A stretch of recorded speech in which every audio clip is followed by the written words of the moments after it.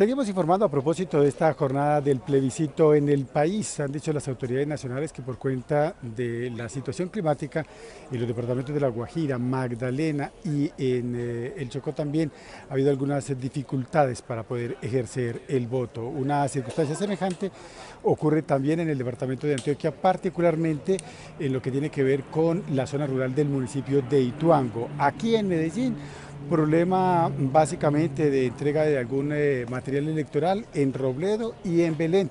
Aquí, en este lugar, la escuela Fátima, en el occidente de la capital antioqueña, sin inconvenientes, avanza la jornada electoral. Hora 13 Noticias, cubrimiento total.